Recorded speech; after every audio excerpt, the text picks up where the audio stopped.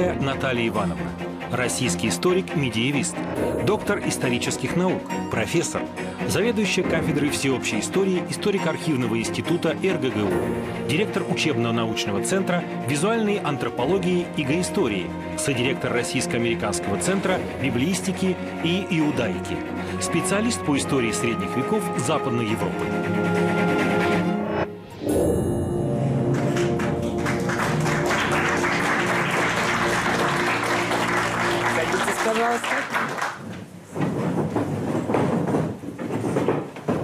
Продолжаем сегодня с вами э, разговор о судьбе одного из правителей Ан- Англии рубежа средних веков и раннего нового времени и о том, что мог и должен был разглядеть в нем Шекспир, который неожиданно посвятил ему, кажется, неожиданно, целых две трагедии. А ведь что такого особенного? Напоминаю, что, в общем-то, э, сегодня я постараюсь еще это двумя-тремя значительными цитатами из Шекспира показать, что он размышлял над человеческой природой и над природой такого страшного испытания, как испытание властью. А, И теми извивами человеческой души, которые порождает мука борьбы за власть. У кого-то среди правителей прошлого эта борьба была за то, чтобы вот ее найти и захватить. Нашему персонажу, первому из ланкастерских королей в Англии, Генриху Боллингброку, она досталась как бы сравнительно легко. Пожалуй, уже тогда он не очень о ней думал, когда она ему досталась. Но 14 лет его правления были борьбой за то, годами борьбы за то, чтобы теперь ее удержать. А, Я напомню в двух словах, что он стал узурпатором не потому, что он это планировал, а узурпатор в системе монархической власти тот, по крайней мере, в европейской традиции, кому власть досталась не по наследству. 200 с лишним лет сидевшие плантагенеты на английском престоле передавали власть своим преемникам. У их предшественников нормандской династии тоже была проблема власти, когда у одного из нормандских правителей не было сына, была только дочь Матильда. В результате была целая гражданская война. Передать ли Матильде, как хотел ее отец, а все-таки женское правление, смущало. Она скоро перестанет смущать. Самым ярким тюдоровским правителем станет в XVI веке, как раз при Шекспире, Елизавета I. Великая правительница Англии, но как тоже она будет идти к этой власти тяжко и мучительно. Короче, власть, переданная не по наследству, в европейской средневековой традиции, власть не вполне законная. Хотя на сторону Генри Боллингброка, родственника королевского дома, но никакого непрямого наследника, встал английский парламент. В июле 1399 года к берегам Англии из Франции, недалеко, Ла-Манш доступен, это почти по соседству. В средние века такая вот водная преграда уже не была очень значительной, хотя бури там случались. А, И он приплыл бороться за свои права на свои земли, конфискованные Ричардом II, впавшим в тираническое поведение, особенно после смерти всесильного Джона Гонта, который всю жизнь ему диктовал, как надо править. И вот в июле высаживается этот Боллингброк. У него много сторонников, все боятся. Теперь Ричард начнет все подряд конфисковывать. К нему сбегаются, начинают стягиваться все те, кто недовольны Ричардом, а Ричард в Ирландии воюет. И, как всегда, неудачно. Он был неудачником. После своих первых вот юношеских, я вам упоминала, относительных удач во время восстания от Тайлера, где он проявил некую уверенность в себе. Неудачно. Ирландия – это вечно покоряемый объект Ну, что я говорю в сегодняшней аудитории? Она и сейчас не вполне для англичан спокойно, стабильно и благополучно.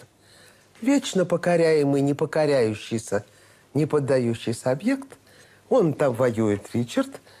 Нигде не удается. Во Франции ему не удалось в войне утвердиться, и там не удается. А в это время недовольные стекаются к Боллингброку. И говорят, в общем-то, надо пресечь. И самое главное, пользу того, что Ричард не устраивает английское общество, самый рубеж 14-15 века, выход из Средневековья, что он тиран. Самое главное, что свидетельством неустройства, вот неприятия этой фигуры стал английский парламент. Напомню, что парламент в Англии возник в 1265 году. Прикинули? 13 век. Парламент. А в общем, первоначально просто собрание, совещание представителей сословий был созван оппозиционером, бароном Симоном де Монфором – во время гражданской войны в Англии в XIII веке против короля Генриха III Плантагенета. Итак, вокруг э, Генриха Боллингброка, приплывшего добиваться возвращения земель и владения Ланкастеров, собирается серьезная позиция. А Ричард задержался еще в Ирландии. И дела там идут неважно. И буря случилась, и корабль никак не пробьется из Ирландии. Корабли Ричарда. Короче говоря, когда он прибыл в Англию, парламент уже был готов к принятию серьезного решения. Этот орган сословного представительства, э, состоявший в Англии из трех палат, палаты, э, двух палат, простите, палаты лордов, как и сегодня, и палаты общин, так она называлась, называется. А, это представители высшей знати в Палате лордов и представители средней и мелкой знати и горожан, верхушки горожан во второй палате. Они уже имеют опыт политической борьбы с 13 века и готовности высказаться, что вот этот правитель в том-то и в том-то не прав. В войне неудачи, налоги растут. В Ирландии тоже неудача. А тут он еще и замахнулся на то, чтобы восполнить вот эти утраты бюджет королевский прямыми конфискациями. Сегодня он конфисковал ланкастерские земли, завтра в ход пойдут и другие. Короче говоря, с ведомой при поддержке парламента Ричарду II, который совершенно растерялся и мало что понял, что происходит, предложено отречься от престола. Что и происходит уже в августе 1399 года. Месяц. И ситуация политическая перевернулась. Он отрекся от престола, у него нет сторонников, ему не на кого опереться, и королем провозглашается Генрих Боллингброк, находящийся и в родстве с королевским домом по линии своего отца Джона Гонта – и имеющий некий авторитет. Очень много занимаясь историей всяких политических деятелей, правителей прошлого, я пришла к такому выводу, что всякий узурпатор занят всю последующую жизнь свою только одним – доказать, что он не узурпатор. Это его главная, если не единственная существенная мысль. С этого начинает и Генрих Боленброк. Ричард не изложен и заточен в замок. Английское общество в некотором смятении. Верхушка общества, конечно. Дело в том, что в Хартии вольности сказано, что дурного правителя можно не изложить. Не изложили. Но не сказано, а что с ним делать. Не догадались в 13 веке. Да и страшно. До идеи казни короля, Англия будет идти еще долго и придет к ней в 17 веке И казнен будет Карл I Стюарт. После долгих борений вождь английской буржуазной революции Кромвель мучительно будет добиваться, чтобы короля казнили. А здесь они не готовы к этому. Он заточен в замок. Но это тревожно. Мало ли что. И он сравнительно скоро, в начале 1400 года, скончался в этом замке. Вокруг его кончины, конечно, как всегда, всяческие разговоры. Ну, во-первых, правящему сословию, верхушке английского общества, надо, чтобы он скончался. Так будет спокойней. Ну, есть версия. Убит, злодейский убит. Может быть, тайно. Задушен, ну, мало ли что. Или есть еще одна версия. Но мне кажется, очень такой любопытный, проскальзывает в свидетельствах очевидцев. Перестали кормить. И он умер. Но он же сам умер. Насильственной смерти не было. Так ли эдак его больше нет? Коронуется Боленброк. Еще до этого коронуется. И сразу ясно, начинается то самое. Главное доказать. Я по праву на престоле. Генрих IV, под именем Генриха IV он коронован, потому что Генрихи среди его предшественников были и в нормандской династии, и в династии Плантагенетов. Он четвертый. Он первый английский король, который произнес во время коронации свою речь на английском языке. Очень умно. Я первый подлинно английский король. Из Ланкастеров. Не из Франции, как были плантагенеты, анжуйцы, и как когда-то были представители нормандской династии. К тому же английский язык, который на протяжении многих столетий был просто языком простонародным, языком, ну, если не черни, то простонародье, а весь двор и вся элита говорили по-французски, а доку э, духовенство пользовалось латынью, и документы государственные были преимущественно по латыни написаны, на латинском языке, на древнем международном языке. Он произносит речь по-английски. Этот шаг, произнесение речи по-английски, знаковый. Но этого оказалось недостаточно для того, чтобы трон его был прочным, а корона держалась бы на голове так, как ему хотелось бы. Против него поднялись очень большие и опасные силы.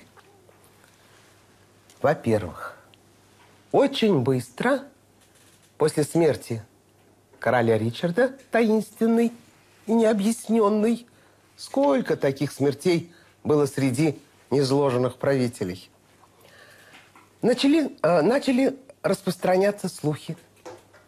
Ричард жив. Он чудесным образом спасся. Он скрывается на севере. Может быть, в Шотландии, которая всегда враждебна английскому королевству и никак не поддается тому, чтобы стать просто частью английского королевства. Может быть, просто в северных графствах. Он жив. И любой недовольный уже получает в руки флажок. А я за Ричарда, за законного короля – законного правителя. А ты, Ланкастер, э, это еще вопрос, законный ли ты правитель Англии. Эти слухи делают его правление с самого начала очень тревожным. Еще хуже еще одно обстоятельство. Возникла молва о том, что мы не подумали, не доучли. Это все способ оказывать давление на нового короля – что есть более близкие потомки великого английского Эдуарда III, великого короля времен начала Столетней войны. Ты, Боленброк, сын Джона Гонта, четвертого сына Эдуарда Третьего. А был еще третий, предыдущий. Первый умер, второй не оставил потомства. А вот третий, его звали Лайонел. Так его потомки ближе к короне, чем ты, потомок четвертого сына. Ну, какая интересная монархическая арифметика и монархическая логика. Это такая пружина политических противоречий, политических процессов, очень опасная для правителей. И находится человек, вот он, Эдмунд Мортимер, граф Марч, потомок Лайонела. Совсем тревожно правителю. Совсем плохо. Ведь вокруг него могут сосредоточиться все недовольные. А бывшие сторонники и друзья, которые посадили его на престол, вдруг стали очень опасными. Они затребовали такой платы за свои услуги, которую прекрасно рисует Шекспир. А, власть и деньги, так получается у Шекспира, две вещи – которыми слабый человек по слабости своей натуры не может наесться. Не может сказать, мне хватит. Спасибо, я доволен, мне пожалованы такие-то поместья, мой бюджет во столько-то раз вырос. Считается, что это свойство только уже капиталистической эпохи. Деньги порождают деньги. Нет, нет. Во все времена человеку все мало – и вот среди былых сторонников он начинает встречать противников. В 1400 году, через год после воцарения, мятеж четырех графов. Голланды, родственники и фавориты Ричарда II, четыре графа Голланда возглавили этот мятеж. Приходится отправить войска против них – конце 1400 года того же в Уэльсе вспыхивает восстание. Уэльс тоже строптивая часть средневековой Англии, да и сегодня непростая. Встречаю этим летом за границей даму, очень красиво говорящую по-английски. Не по-американски, а по-английски. И говорю, ой, как приятно слышать чистую английскую речь. Вы, конечно, из Англии. Ответ – нет, я из Уэльса. Это навсегда. В 13 веке он колонизован Англией. Но он бунтует, протестует. И вот в 1400-м вспыхивает восстание под руководством представителя уэльской знати Оуэна Глендоуэра, очень опасное для английской короны. И все оппозиционеры, которые хотели бы предъявить Генриху IV, что ты ланкастер, ты незаконный, это вопрос, откупайся от нашего недовольства, откупись чем-нибудь, а не Глендоуэру. И как бы вступили с ним в союз. Они захватили Южный Уэльс, восстание длится долго, почти три года, подавляется с великим трудом. Ну, может быть, теперь все хорошо? Нет. В 1403 всего четыре года, как он на престоле. Восстание под руководством графа Перси на севере. Генрих Перси, выведенный Шекспиром в его трагедии, по прозвищу Хотспер. Энергичный, молодой, тоже жаждущий большего от этого сомнительного короля – происходит 21 июля 1403 года знаменитое сражение при Шрусбери. Если бы в нем не погиб этот самый Хотспер, дела у Генриха IV пошли бы еще хуже. Такой лидер был оппозиционеров, этот Хотспер. Но он погиб в битве при Шрусбери. Ну, теперь, может, все же все хорошо. Ну, может, теперь уже все хорошо в логике Генриха IV я пытаюсь побыть. Нет. 1405 еще через два года. Второе восстание под руководством графов Перси на севере. И здесь Генрих IV, ну, бывший веселый Боленброк, тот веселый, а потом крестоносный, уже другой. При подавлении этого второго выступления под руководством Перси на севере Англии он проявил и санкционировал немыслимый поступок. Архиепископ Йоркский, Скроуп, примкнувшись сначала к недовольным, как бы признал свою вину перед королем, раскаялся, сдался. А бывший веселый Боленброк санкционировал его казнь. Казнь архиепископа. Кровь Скроупа никогда уже не смывалась с его имени. Тот веселый паладин не мог так поступить. Но это же 1405 год. Он шесть лет у власти, и он все время должен доказывать, что он имеет на нее право, что он здесь законно.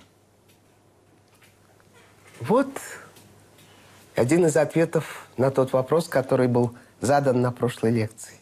Что делает власть человека? Да все. Вот с ним, по крайней мере. И Шекспиру это очень интересно. Я процитирую вам э, вложенные в уста Томаса Перси, одного из лидеров недовольных, слова из драмы Генрих IV. Это былой, так сказать, помощник при воцарении Генриха IV. Боже, что он говорит устами Шекспира? Мы должны помнить, это говорит не Перси. Никто за ним не записывал. Это было 100, за 150 лет до Шекспира. Шекспир, читая хроники о событиях, о том, что, где какой бунт был, создает этот текст. Логика тех, кому не доплатили, как они считают. Слушаем. Я ради вас переломил свой жезл в дни Ричарда. Скакал и день, и ночь, чтоб встретить вас, поцеловать вам руку. Хоть по значению в стране и сану стоял я несравненно выше вас. Вот она, жизнь сомнительного правителя, чьи права под вопросом. Я, брат мой и племянник – возвратили вам родину, отважно бросив вызов опасностям. А вы нам поклялись. В Донкастере вы дали эту клятву, что посягать не станете на трон. Была ли такая клятва, не знаю. Версия существует. И требовать намерены по праву лишь герцогство, наследие Джона Гонт. Клялись мы в этом вам помочь. Но вскоре, как ливень, Счастье пролилось на вас. Поток величия хлынул. Все тут было. Повезло, говорит тебе. Отсутствие монарха, наша помощь, неправды тех разнузданных годин, страданий ваших ореол. Паладин в Палестине, понятно, да? Противный ветер у брегов ирландских, так задержавший Ричарда в походе. Все прописано что в Англии сочли его умершим. Вы, дивный рой, удач не упустили. Пленить сумели все сердца. И вскоре добились, чтобы вам вручили скипетр. Голос завистника, былого соратника, адресованный тому, чьи права хоть сколько-нибудь в монархической логике ненадежны. Какой потрясающий текст.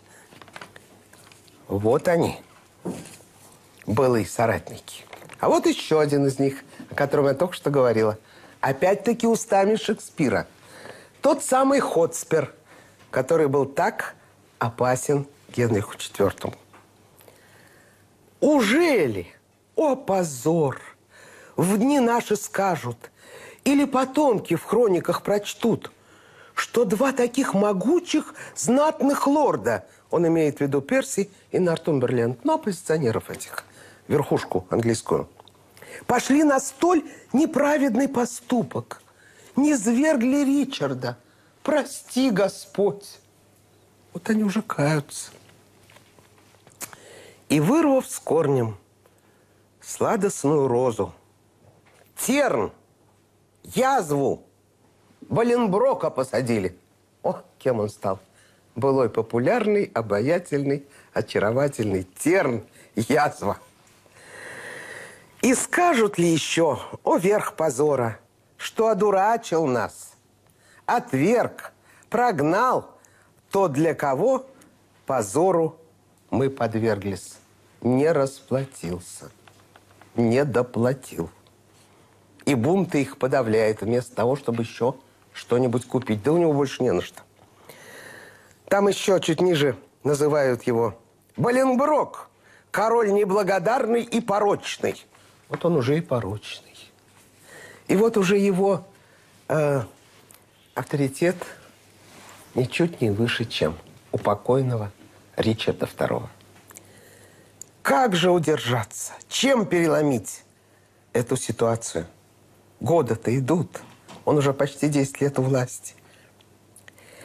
Он становится бешеным поборником ортодоксальной веры, церкви, папства. Он находит еще, тем более казнь архиепископа Скроупов, на его пятно на его биографии. Он начинает санкционировать, издает страшные статуты по борьбе с ересью. Уже в 1401 издан статут, распоряжение, королевский приказ со страшным названием. Как оно вам? По средневековому прямо. О сожжении еретиков.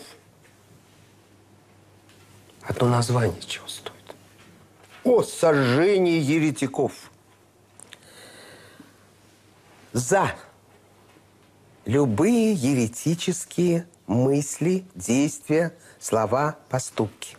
Дело в том, что со второй половины XIV века английское королевство заражено еретическим движением и учением так называемых лоллардов или виклифитов. Во второй половине XIV века, начиная с 60-х годов, в Англии высказал свое опасное учение профессор, теолог, ученый, богослов Джон Виклиф. В общем, предшественник реформации европейской. Один из предшественников. Он высказал сомнения в некоторых догматах, обрядах. Это провозвестник реформации. Так же, как э, Ян Гус, который очень будет ценить и уважать труды Виклифа. Он высказывал их осторожно. Но его поддержал, между прочим, отец нашего Боленброка, Джон Гонт. Почему? Он что, за свободу мысли? Нет, конечно. Дело в том, что из этих еретических учений, предреформационных, вытекала одна очень существенная для сильных того мира мысль. Церковь не должна быть богатой. Богатство церкви противоречит евангельским заповедям. И ведь это на самом деле так. А Джон Гонт и прочие представители английской аристократии увидели в этом перспективу. Если принять эту версию, так будет и с Лютером потом в Германии, то очень хорошо можно поживиться за счет богатства церкви. Конфисковать. Материальное с духовным часто сплетается – сложные, нерасторжимые узлы. Здесь такой узел был. И вот уже нет живых Виклифа, но есть это учение. Его продолжатели назвали себя, они превратились в секту, назвали себя лоллардами, не сами себя, их так назвали представители власти. Лолларды – это бормочущие. Те, кто бормочет свои проповеди в народе, в трактирах – в любом месте скопления народа, на рынке. А на самом деле Христос учил не так. Надо по-другому. Самым радикальным из них был во время так называемого восстания Отто Тайлера 1381 года знаменитый Джон Болл, который сформулировал крайнюю вариацию этой ереси. Все знаете эти слова. Когда Адам пахал, а Ева пряла, кто тогда был господином? Это уже средневековый коммунизм. То есть это опасное учение для власть имущих, как всякое отклонение от ортодоксии. И вот Боленброк, цепляясь, в общем-то, за все, беспощадно приказывает бороться, чтобы его поддержала хотя бы церковь, чтобы простили за Скрупа, чтобы римский папа стал его союзником – о сожжении еретиков, за хранение книг опасных, за опасные мысли где-то высказанные, за неправильное обучение. Там все написано, за все, за все. Казнь. Сожжение еретиков. Ничего не помогает. А Боленброк уже умрет 1413 году, а в 1414 при его преемнике и наследнике Генрихе V, сыне, случится даже восстание лоллардов. Последняя высшая точка этого предреформационного движения. Итак, ничего не получается. Идут годы, а тема одна. Как доказать, что я законный, как утвердить свою постоянно готовую пошатнуться власть? Как добиться, чтобы прекратились разговоры о моих правах? Боже, как Шекспир это передал?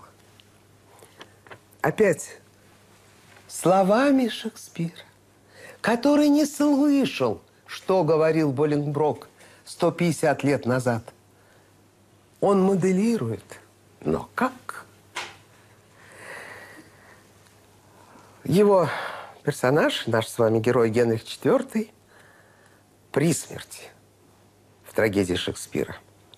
И говорит своему сыну, Генриху, будущему Генриху V, национальному герою, популярнейшему английскому королю, он станет его наследник таким. Послушайте, что он говорит. Он или Шекспир? или историческая действительность, или логика анализа человеческой души. Меня эти слова поражают. Я многих истребил перед смертью. И собирался вести в святую землю остальных, чтобы не дали им праздность и покой в мои права внимательней всмотреться. Боже! Он собирался повести английских лордов, рыцарей в святую землю, но не ради святой земли, не ради христианских святынь, а вот для чего. Чтобы не дали им праздность и покой, чтобы не сосредоточились на опасной мысли. В мои права внимательней смотреться, всмотреться. Какой цинизм. И какая точность шекспировская. Просто снайперская. Вот они, 14 лет правления и 14 лет моральной суеты вокруг законности и незаконности моих прав. Дальше он говорит очень важные слова для следующего Ланкастера – для Генриха V.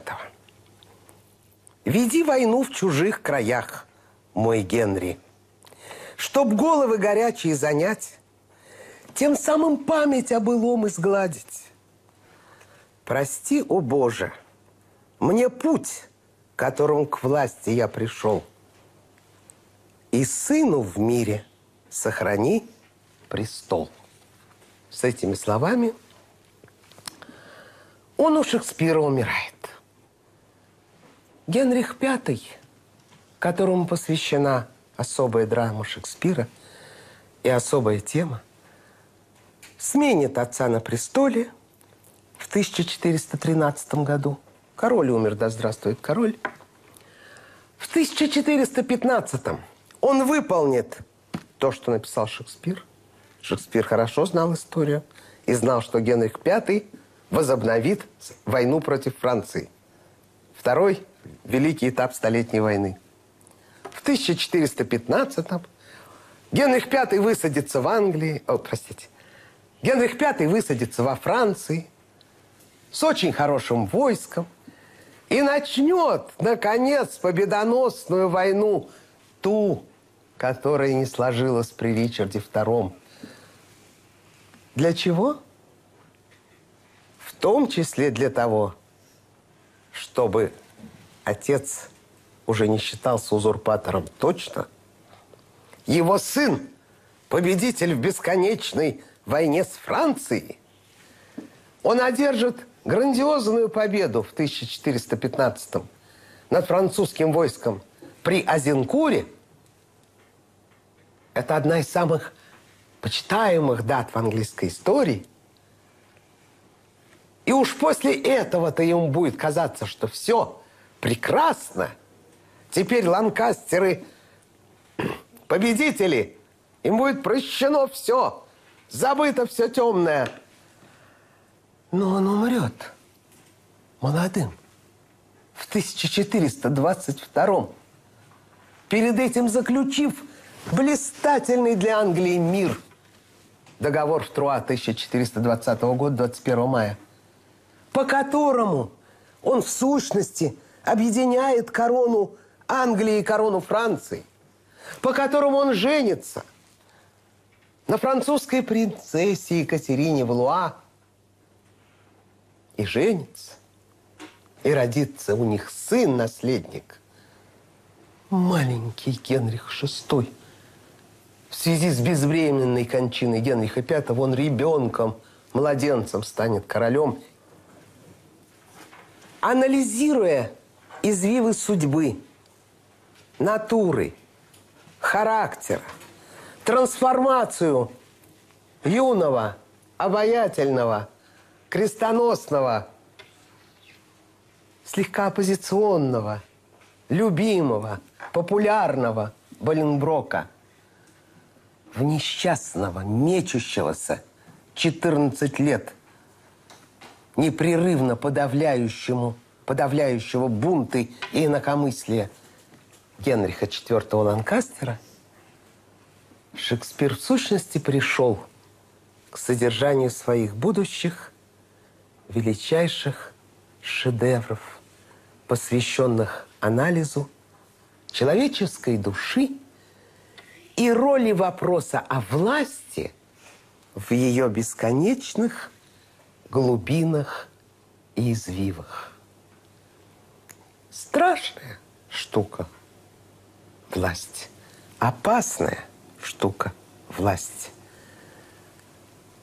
Человечество думает над этими вопросами и устами своих выдающихся представителей, таких как Вильям Шекспир, высказывает нам бессмертные идеи, показывает нам нас, я имею в виду общество, а не нас с вами, социум – в зеркале былого, надеясь на то, что мы извлечем уроки. Извлекаем мы их очень медленно, бесконечно, трудно. Но, может быть, все-таки извлекаем. Во всяком случае, мне представляется, что все это, сказанное на века, не напрасно не кануло в лету. И если человечество в принципе останется человечеством, а это вопрос, оно не разучится читать. И оно не забудет имена таких гениев, как Гомер и Шекспир. Здравствуйте, Наталья Ивановна. Меня зовут Анастасия. А, у меня скорее как бы и вопрос, и утверждение, и гипотеза, все вместе, если можно. Очень интересно. Э, Я так поняла вот э, в ходе э, вашей лекции, что жажда власти это, скажем, как бы даже международная черта, если можно так сказать, а не, а не отдельных стран, Англии и Франции. Э, К чему, почему я так решила? Вот мне вспомнился еще один великий гений, Александр Сергеевич Пушкин. И его трагедия «Борис Годунов». Конечно, обстоятельства коронации Бориса были более ужасающие, чем Генриха там. Да, в общем, вы совершенно правы. Э, Ну, собственно говоря, да. И э, мы в обоих случаях видим вот ту самую разрушающую личность силу власти. Э, только Борис Годунов, он в результате вообще сошел с ума. Собственно, вопрос такой у меня. А были вообще еще подобные случаи в мировой истории? Если да, то у меня лично складывается впечатление, что это э, как бы удел сильных мира сего. Это жажда власти и потом страдания и угрызение совести. Вокруг нее. Да. Сугр- э, Анастасия, большое вам спасибо за эту реплику рассуждения с вопросом вместе. Знаменитый пушкинский «Достиг я высшей власти» Борис, да он же несчастнейший человек. Вы совершенно правильно это вспомнили. И мальчики у него кровавые в глазах, а у этого, я думаю, скроп в глазах. И Шекспир говорит, я многих истребил и готов был в крестовый поход повести не ради похода, не ради Христа, а ради не памяти о Христе, а ради того, чтобы отвлеклись. Так что все это передано совершенно верно. Что касается э, международного, я бы характера э, этой проблемы э, применил другое слово – общечеловеческое. А, Потому что здесь даже вот народы, этносы, нации не такую уж э, играют роль решающую. Это э, общечеловеческое. Одно из свойств. Природой нам даны многие свойства. Лучшие, не лучшие, меняемые, трудно меняемые. Но вот это стремление к лидерству, врожденное у человека, где-то на каком-то этапе, разное у индивидуумов, но в целом в сообществе, оно есть. Оно вызывает тревогу и ревность других членов сообщества, противоречия между ними в разные совершенно разные времена и в разных э, частях света. Тут сказать, что это чисто английское явление ни в коем случае нельзя. Или сказать, ах, в русской истории было так много переворотов. Ну, может быть, больше всего дворцовых переворотов было, пожалуй, в византийской истории, больше, чем у других. А в общем, это явление, это явление, связанное с той самой страшной субстанцией власти. Покуда человечество мучительно бьется, какими бы рычагами ее обставить, чтобы она не так растлевала человеческую натуру, полной победы на этом пути нет. Но продвижение к идеям рычагов юридических, моральных, публичных, ограничивающих это страшное влияние власти, продвижение есть. Оно непростое. А что вспомнили величайшего и обожаемого мной Александра Сергеевича, это вам Отдельное спасибо, Анастасия.